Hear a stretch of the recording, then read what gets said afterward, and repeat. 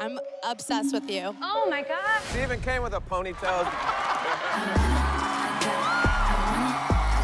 Did you happen to see how last season ended? I won. But that's why I'm here.